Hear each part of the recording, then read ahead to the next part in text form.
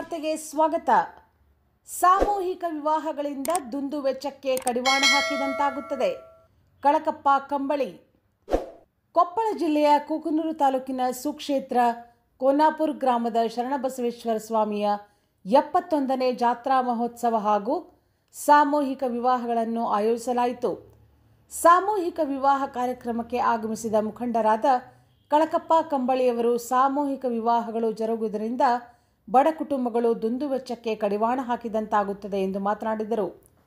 ಈ ಸಂದರ್ಭದಲ್ಲಿ ಶ್ರೀ ಶರಣಬಸವೇಶ್ವರ ದೇವಸ್ಥಾನ ಕಮಿಟಿಯ ಹಿರಿಯರಾದ ಗುದ್ನಿಯಾ ಕೆಂಭಾವಿಮಠ್ ಮಾತನಾಡುತ್ತಾ, ದಿನಾಂಕ ಹನ್ನೊಂದು ಮೂರು ಎರಡು ಸಾವಿರದ ಇಪ್ಪತ್ತ್ಮೂರು ಶನಿವಾರ ದಿವಸ ಬೆಳಗ್ಗೆ ನಾಲ್ಕು ಗಂಟೆಗೆ ಶ್ರೀ ಶರಣಬಸವೇಶ್ವರ ಸ್ವಾಮಿಗೆ ಹಾಗೂ ಈಶ್ವರ ಮೂರ್ತಿ ಗದ್ದುಗೆಗೆ ಮಹಾರುದ್ರಾಭಿಷೇಕ ಒಂಬತ್ತು ಗಂಟೆಗೆ ಸುಮಂಗಲೇರಿಯಿಂದ ಕುಂಭೋತ್ಸವ ನಂತರ ಸಾಯಂಕಾಲ ಐದು ಮೂವತ್ತಕ್ಕೆ ಹುಚ್ಚಯ್ಯ ನೆರವೇರಿತು.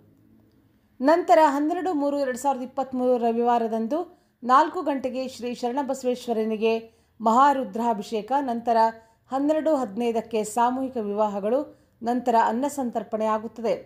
ಸಾಯಂಕಾಲ ಆರಕ್ಕೆ ತಾಯಮ್ಮ ದೇವಿ ದೇವಸ್ಥಾನದಿಂದ ಸುಮಂಗಲಿಯರಿಂದ ಕಳಶ, ಕನ್ನಡಿ, ನಂದಿಕೋಲು, ಪಲ್ಲಕ್ಕಿ, ಭಜನೆ, ಡೊಳ್ಳು, ಮಂಗಳವಾದ್ಯಗಳೊಂದಿಗೆ ಶ್ರೀ ಶರಣಬಸವೇಶ್ವರ ಮೂರ್ತಿ ಮೆರವಣಿಗೆ ಬಂದು ನಂತರ ಬಳಗೇರಿ ಗ್ರಾಮದ ಬಳ್ಳೇಶ್ವರ ಸ್ವಾಮಿಯ ದೈವದವರಿಂದ ರಥೋತ್ಸವಕ್ಕೆ ಹಗ್ಗವು ವಿಜೃಂಭಣೆಯಿಂದ ಆಗಮಿಸುವುದು, ನಂತರ ರಥೋತ್ಸವ ಕಾರ್ಯಕ್ರಮ ನೆರವೇರುವುದೆಂದು ತಿಳಿಸಿದರು.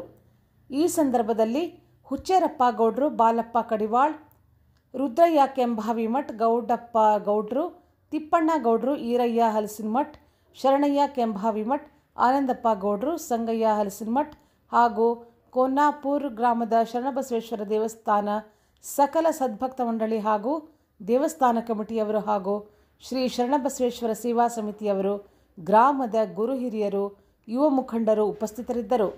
ಚೆನ್ನಯ್ಯ ಹಿರೇಮಠ್ ಕೊಪ್ಪಳ ಜಿಲ್ಲೆ.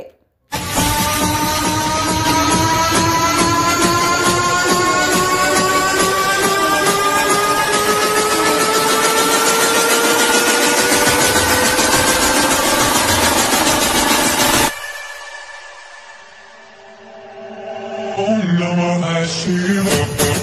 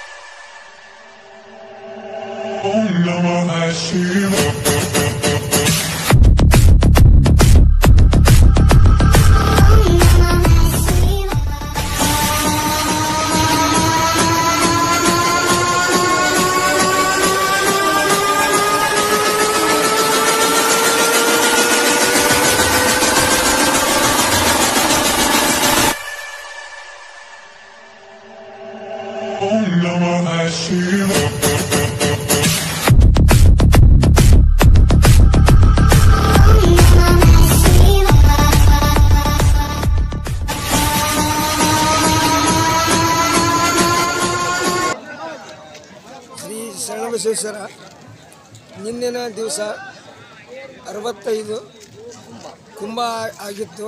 ಕುಂಭ ಮೆರವಣಿಗೆ. ಕುಂಭ ಮೆರವಣಿಗೆ ಆಗಿತ್ತು.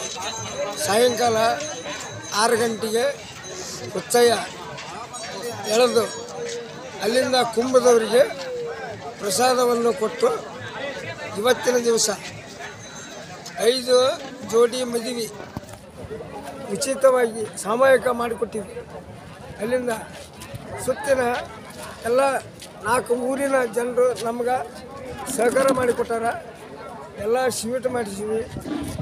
ಪ್ರಸಾದ ಕೊಡ್ತೀವಿ.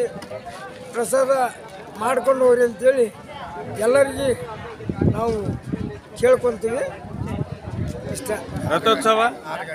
ಸಾಯಂಕಾಲ ಆರು ಗಂಟೆಗೆ ರಥೋತ್ಸವ ಜರಗಲಿದೆ.